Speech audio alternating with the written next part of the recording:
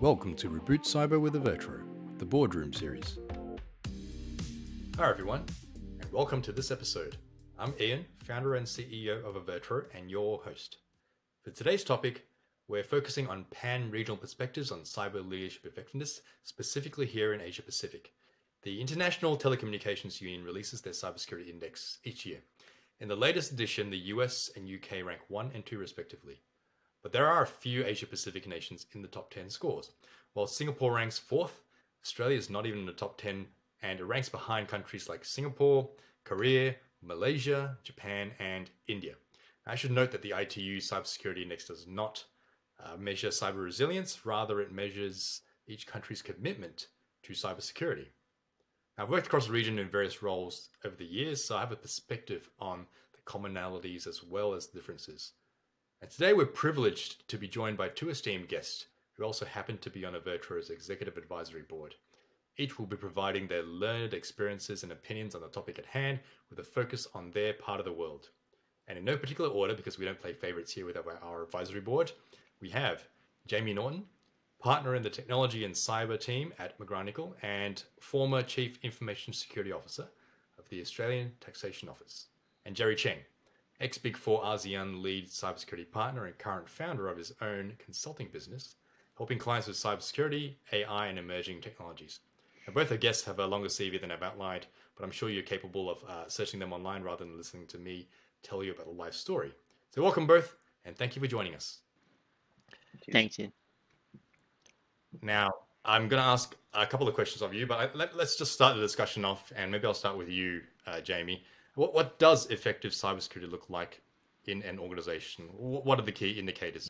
I think uh, for me, it comes down to culture and, and really um, having that, that, that culture of security and that accountability. Um, and, and really, I think needs to be at that executive level of the organization and at the board level, um, and, and then permeating from there throughout the organization. So I think that's what represents. Um, you know, represents good good security. Um, for me, the indicators are things like that visibility of security at the board level uh, and uh, and having that accountability and ownership at that level.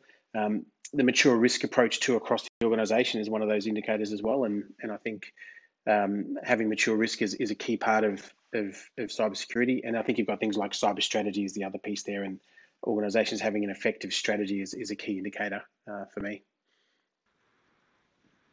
Gerry. Yeah, personally, I think that um, effectiveness needs to be measured against the current landscape that we're in, right? So if we look at the landscape, that has changed quite significantly in the last few years. Things has uh, become uh, a lot more data-driven. Uh, infrastructures have changed, and as we start looking at it, it's really about a lot of uh, automation and, and algorithms that a lot of the hacker groups are working on as well. So I think beyond looking at how we have been dealing with security previously, I, I would feel that um, effective cybersecurity today is something which needs to be able to scale uh, without just putting in more people because uh, the lack of resources, uh, people, uh, you know, how much you can spend, it's always going to be a factor that that uh, constrains it. So the ability to scale, uh, being agile, and uh, the, the ability to then uh, act on the insight. So all this will then require things around uh, re-engineering the way things are done, uh, looking at where technology can help. So I think I, I in, in my views, I, I think those are the key areas in which uh, we should be measuring effectiveness uh, at this point on. And I can stay with you, Gerry, I mean, what does what does an effective cybersecurity leader look like? Well, first and foremost, I, I would say the individual has to be a business leader first, uh, first and foremost. So, um, you know, gone are the days where we view security as just a very pure technical topic. You need to be able to explain to the stakeholders, the senior management, the boards, etc. So, first and foremost is really being, uh, you know, that business leader. But beyond just uh, being a business leader, there's also the need to understand technology, and and and I'm not referring to the need to you know uh, uh, directly have to roll up your sleeves and, and get the work done, but understand the technology and the implications sufficiently to be able to lead the teams uh, to look at, you know, what are the changes which, which are happening? Um, how is that going to have an impact to the strategy and the businesses? And then lead the teams to really re-architect the way security is done. So it's it's not an easy task, you know, a business leader to, to begin with, and then understanding technology enough to lead the teams. Jamie? Yeah, I'd, I'd echo Gerry's comments that um, you know has to be a business leader, but who's comfortable working up and down the hierarchy from from the board and the most senior parts of the company and all the way through to those technical areas and is comfortable talking technical language, um, but also has to be comfortable talking strategy, risk, and governance as well, because they're increasingly, well, they are very important parts of, of the role of the CISO and making sure we get that right. Um, understanding the challenges, I think, is one of those, one of the, I guess, the the advantages a CISO can have is understanding the challenges that, that'll face them because they're they're um, going to happen in the role when you enter, you know, CISO in a large organization, and being able to advocate for cyber and the right outcomes, I think, is key in overcoming those challenges. And I'll stay with you, Jamie. Uh, we're talking about cyber leaders here, but on the flip side, you've got you, you both talked about business leaders and, and the importance of business leader, which means a lot of the times the stakeholders they have to deal with progressively moving forward are senior executives and, and board members. And for the senior executives and board members who may be listening in, uh, what part do they play in ensuring they are enabling their security teams to be effective, and what should they do and not do? Yeah, I think uh, you know cybersecurity is an organizational issue, and I think it starts at the top. So the board and the senior executives have to have accountability and ownership of, of the problem first and foremost, um, and and they can really help the CISO by enabling the CISO to provide. Uh, you know, good visibility across the organisation to, into what the cybersecurity posture is like, um, but also um, helping helping the CISO really with that cyber culture across the organisation. I think is key. Um, they also should be requesting that that strategic insight from the from the CISO as well. So, um, and having them um, provide the information you need to understand what the current state of cyber is like in an organization, what the strategy is, where, where the organization is going, and what its um, what its goals are. I think is is essential. Um, things to be asking a CISO, but also providing that enablement for the CISO to be able to perform their function. Um, the other the other part of it is is really being on board with cyber risk as well. So understanding what the current risk position is for your organisation, um, understanding where, what the journey looks like and where you're going to get to, and providing the funding necessary to address those risks, um, and not just making it the size CISO's problem. Gerry, I mean, uh, maybe I'll, I'll just uh, give you a bit of nuance. I mean, how much of that do you see being relevant in your region, and, and are there are there specific bits that you believe are more important or important when it comes to senior leaders and board members in, in Asia, for example? Hundred percent. Um, as you were asking that question, and, and prior to Jamie answering, I was thinking three three key things in there. The first is really about staying informed, uh, subsequently demanding insights, and then providing the support. So so it's it's really that that same thing where we are starting to see a lot of boards in Singapore, which is uh, requesting for access to uh, technologies uh, savvy or cybersecurity savvy people. So if not at the full board, at least at the audit committees or the risk committees, they, they are indeed asking for uh, you know memberships with uh, people who are uh, knowledgeable about those areas to help advise the committees and the boards in, in those areas. So having the the right uh, you know awareness about what is happening around um, I, I agree with what Jamie was uh, mentioning as well, right? Demanding the insights. I, and I think that's a very important aspect of it because the tone, we always talk about the tone at the top. What is this tone at the top? And I think that the tone that needs to be set is demanding not just, you know, data, but what insights are we able to get out of it? And, and when we put the two together, that I have the awareness about what is happening, and I'm getting the insights from the teams about how things are being being run. This is the parts where the, the two can then come together.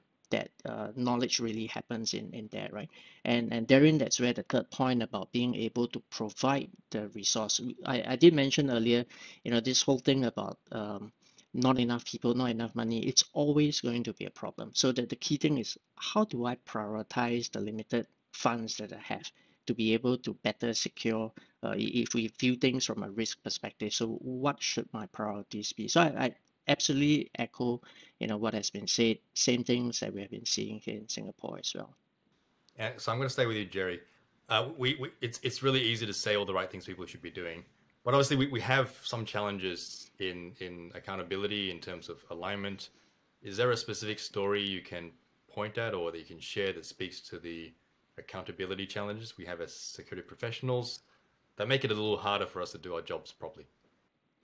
Um, without naming, for obvious reasons, without naming specifics, uh, I, think over the past few years there has been enough uh, incidents that's been happening, and some of the, these incidents have then uh, gone much deeper into some of the investigations on what went wrong. Um, I, I like what Jamie said earlier about culture, right? Because a lot of it does boil down to this whole culture of is it my problem? And and there's always a lot of finger pointing when, when the investigations uh, go deeper into it that there's always a lot of finger pointing of that was not part of my job scope I, I was not enabled sufficiently to be able to get the, the work done etc so I think that there is really quite a lot of work that needs to be done to uplift this whole uh, a feeling of you know um, cybersecurity being really everybody's job. It, it doesn't just sit with the CISO or the office of the CISO uh, to get that done.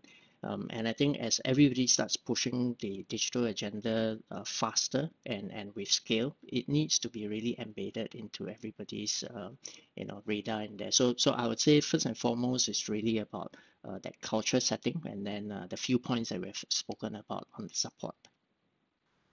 Jamie? I think one that springs to mind for me is quite quite topical given recent events. But uh, some years ago now, I was working for a large global health provider, and uh, we um, or, or, they came up with what's what was called a situation room, which was about health response um, and providing health response in the in the example of, of a pandemic where we, we find ourselves now. Um, it was a, one of those decision points that was made by the exec, and it flowed through to all the project teams, and they built this this uh, wonderful and, and obviously quite expensive um, facility, but they'd completely left security out of the discussion until they asked me after they'd always they'd almost taken delivery of this and, and locked the doors to come and do a security assessment and tell them how to make it secure so they could have you know global health data from different countries sitting in there. And um, you know it only occurred to them after I'd had the conversation that this is something they should have baked in from the start. And I, and you know it was almost impossible to do this now you know two months after the, the, the final you know building had been had been completed. So um, even though that was many years before the current pandemic, it still highlights an issue we have in security that, that often security is forgotten about or it gets left off. And we charge ahead with, with business goals, but um, we really need security to be embedded culturally in, in everything we do so that it's got a seat at the table. Um, otherwise, we you know we find ourselves not not being able to build security in, and, and that has implications in terms of the usefulness of some of the things we build. I, I guess it's a nice stay with the next point, right? We we we often say it's other people's problems, but we have to take some accountability as an industry on our own.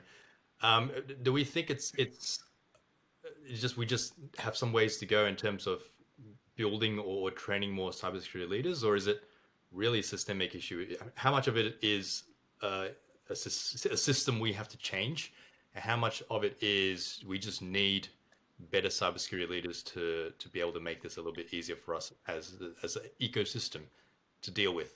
Uh, I'll start with you, Jamie.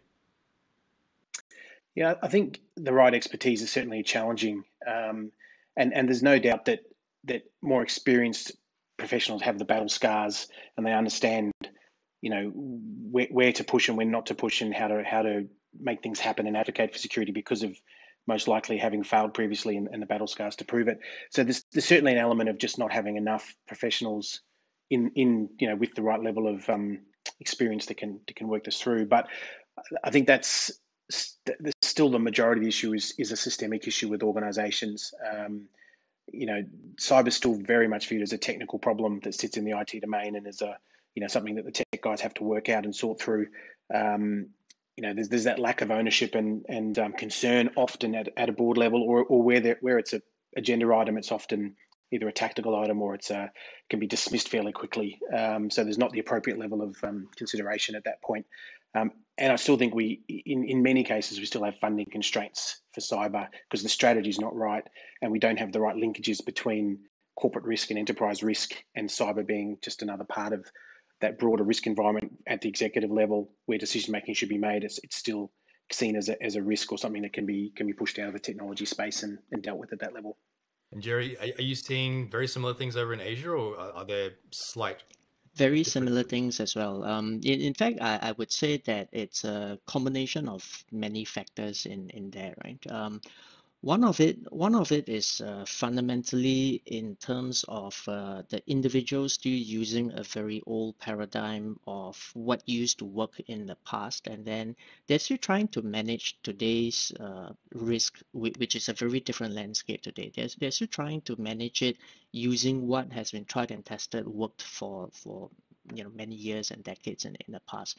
Particularly if we look at you know whether we look at uh, maybe things like compliance audits etc it, it is always a point in time uh, kind of snapshot a rear view mirror if, if you may on what has happened. And and with the volume and velocity of things which is happening today you know those models of uh, working just doesn't cut it anymore.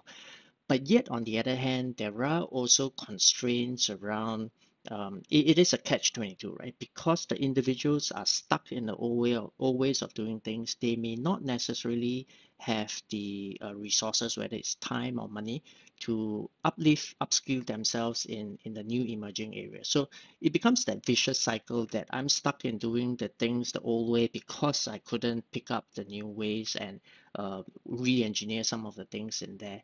And and i think to to that point it, it is a systemic issue but individuals have to also want to step out of the comfort zone, knowing that the paradigms that have worked before is not going to serve well uh, for us in, in the future. And I mean, which brings us to the next question. I'll, I'll stay with you, Gerry.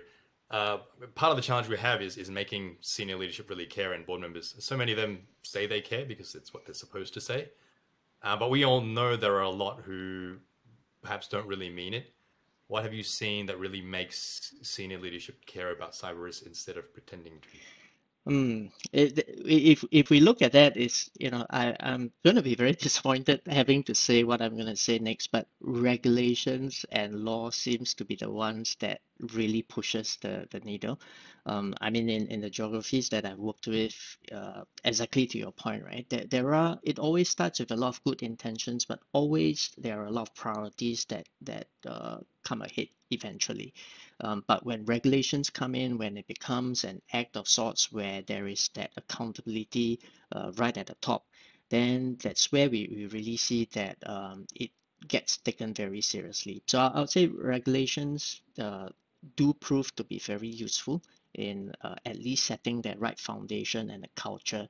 And the only hope is that the only hope is that once this is there, it is not done because of of uh, regulations, but people are then able to build um, the right foundations and then being able to do it in a more sustainable manner. And Jamie, you, have written a few blog posts in the past. Uh, we did a cyber leadership effectiveness study about strategic approaches versus compliance-based approaches. Uh, so, I mean, I, I, know you've had a lot of thinking about this and, and publicly been on record and saying some things, but what, what's your perspective, particularly uh, with the Australian lens on? Yeah, I, th- I think there's undoubtedly nothing like a good crisis to get the executive uh, engaged, and, and that's certainly one of the ones that, that we've been involved with at McGrath with, with ransomware and other things. That that certainly is one approach. It's not, ideal to have that hit the first time there's a, there's a major crisis, but um, I think as as Gerry said, re- regulation does create a measure of of um, account well, not accountability, but a measure of um, concern, I guess, at the executive level.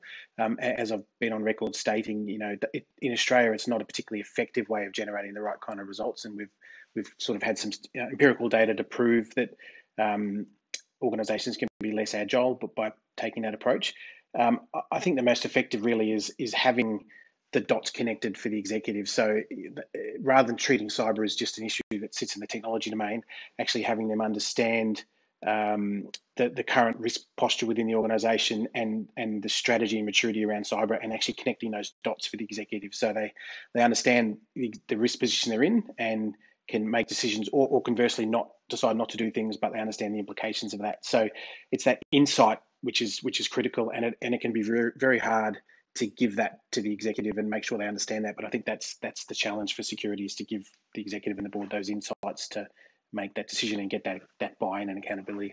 And I mean, staying with you, Jamie. Look, we we acknowledge that being a security leader is hard given all the things you've both been talking about. But uh, I'll stay with you because I mean, my next question. You you you were most recently prior to McGrath in a very very highly pressured situation. Obviously, there are things you probably can't mention given the role, but having been recently a, chief information security officer yourself, right?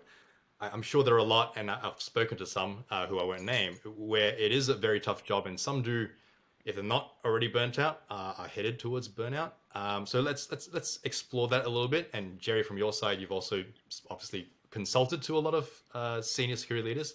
But if I, I, I, can ask you, Jamie, for a second, I mean, how prevalent do you think CISO burnout is, and, and why does it happen? I think it's it's absolutely a real thing, and it's it's more prevalent uh, than than we might think. Um, there's also the ability for CISOs to, I guess, hold the fort whilst without really charging forward, and that's also a measure of burnout in its own right, where they're kind of, you know, struggling to really get a, continue that energy, and you need a huge amount of energy to to really drive forward some of the changes that you're trying to do. Um, I think there's a couple of reasons for it. One is just how wide CISOs are spread. It's one of the few functions in an organization that touches all parts of the organization, so you end up getting caught up in almost end to end. Um, and, and it's very hard to scale to that to that to that size. You don't really have one sort of niche area or, or one vertical that you can compartmentalize around. So, so that's one of the aspects that definitely drives workload. Um, you're also dealing with the most senior parts of the organization, and, and that's where you'll find, um, you know, the highest level of expectation, the highest level of sort of work effort and preparation required, and and you also have to roll with the punches and deal with with the rejection or the um, you know the, the, expectations that come with that as well. So that that certainly takes its toll. Um, and and the third piece really I think is that if if you aren't getting the results that you're trying to get, and you know you'll come in quite ambitious into a role, and and you'll find if it's more complex and you're really struggling to get some of that change, it can be a little bit disheartening. And, and combined with everything else, that's where you start to see burnout coming in because um, CISOs get frustrated, um, and so which I think is is one of the many reasons why we see CISOs, particularly in Australia, every sort of 18 months to two years, they'll skip job to job because they'll they'll reach a point where they feel like they can't contribute anymore, suffering potential burnout. So they'll look at something that's that's a bit more sort of green uh, green grass across on the other side. And and if we move across the region, I, I think the interesting the interesting lens on this is obviously cultural differences, right? So I think probably in Australia in a more westernized society, we, we're probably quite more a little bit more open about these things. Probably not as open as we should be, but uh, if I if I think about Asia and, and being born there and understanding the culture, a lot of it is to put on a brave face and to show face. So Gerry, do you do you think this is prevalent in Asia and people just don't admit it, or what? What is your perspective in having spoken to a lot of senior security leaders in that region? Yeah, we're we're seeing the same um, here as well, right? I, have recently been talking to quite a few clients and uh, recruiters as well, who's really been asking for uh, references to to people in there. So so there is in, indeed that vacuum, which is also created, uh, you know, with uh, people experiencing the burnout and, and moving on. Um, absolutely echo all the uh, that um, Jamie has made as well. One one of the interesting facts recently, I was talking to a client. He was mentioning that the average tenure of a CISO is about 22 months, 24 months thereabout. So very much similar to uh, what Jamie has been mentioning in there. And and a lot of it, from what I've heard, really does boil down to that frustrations as well about um, the increasing you know task which which is at hand that needs to be handled, but yet on the other hand, it's the lack of um, the the support and the resources that's coming in to, to get the work done. So oftentimes you would see that some of the um, resources, whether it be team uh, members, whether it's be budgets, get funneled away to something else, uh, taking away from the, the security aspects of, of other areas. And, and that leads to, you know, quite a bit of frustrations where the expectations from the board is there because they have been reading about all the, whether it's a ransomware attacks, the hacking uh, incidents, etc. And the, the expectations comes down on the CISO, but yet they are not getting the necessary support. Um, so it can be a very frustrating experience for them if we do not deal with that systemic issues that we were talking about earlier. And and the next the next question is sort of related, but uh, it's a change of pace, right? So we talked about compliance, we talked about strategy and different levers that cyber leaders have to lean on sometimes to uh, get the board to care or get others to care. One interesting one uh, is is buzzwords. Um, and, and, they, as much as we like or dislike them, they sometimes matter depending on what is, is happening. So I'll start with you, Gerry. Given you are you're currently educating yourself very deeply in the areas of uh, artificial intelligence and machine learning. So my question is, I mean, do do you think, or do we think that leaders really care about these kinds of buzzwords? Do they not care? What kind of what are, what kind of perspectives do they have And and I get that uh, Asia may have a different perspective on Australia, but just interested in your views from from a regional perspective. Yeah, I, I would say that a lot of the senior leaders that I've been talking to are a little bit more skeptical about these buzzwords and and precisely the, the reasons why I uh, kind of really went a lot deeper into the AI aspects of things is that I, I felt that you know I, I'm an engineer by training but I felt that it was an abused term and buzzwords used by too many sales and marketing people. Um, but having gone deeper into it to understand the potentials uh, that there are really uh, you know good use cases that can be applied in there in, indeed I would argue uh, that moving forward, you know, we talked about the scale and agility. Without the use of data and algorithms, it is quite impossible to deal with it. So some of these buzzwords are important, but but it is important to also then uh, cut away, you know, from just the sales and the marketing terms, but really think about uh, what the implications are for the organization. So recently in, in some conversations with the clients, it's it's that debate around you know, what do we do with, do we try to reinvent everything? Obviously, the answer is no, because there are some vendors who have already done it. We might be able to procure or to use some of the technologies which is there. But then you have to worry about, you know, the proprietary nature of it, the data that it's been trained on. Does it make sense in, in your context and environment? And therein, that's where, you know, moving beyond just the marketing and the sales, you know, just by saying that something is machine learning, it doesn't change anything.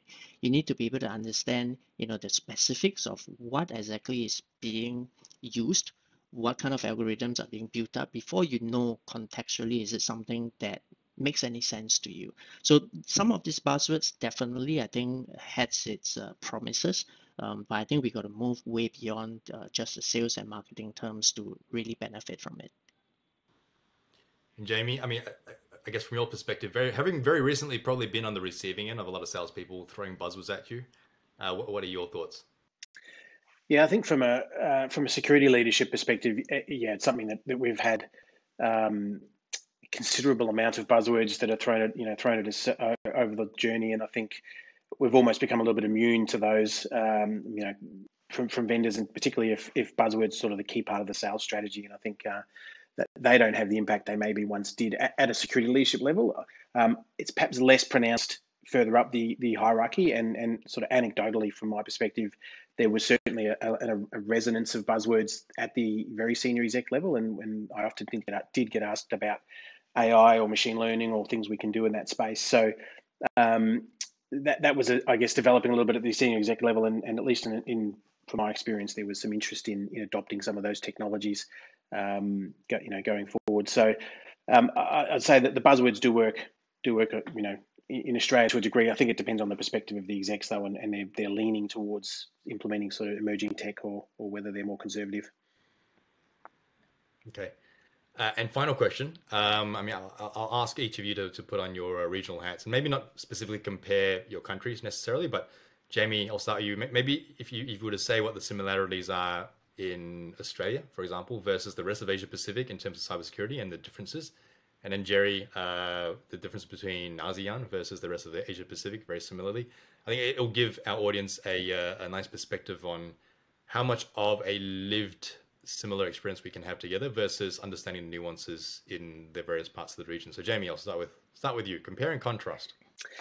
Yeah, I think uh, Australia's it's at a corporate level is still we're very much in that um, developing awareness phase at, at the executive level. You know, there's been um, a lot of a lot of movement in the last 12 to 18 months around ransomware, and that's certainly becoming a very big concern across organisations. But in terms of education of the board and, and developing um, cyber awareness, that's still, I think, a journey that we're, we're going on. Um, at, a, at a governmental level, there's a, there's more progressive regulation there, but uh, again, it, it's very compliance driven, and we're, we're sort of making that journey from compliance to to risk based. But it's a bit of a slow progress uh, in that space.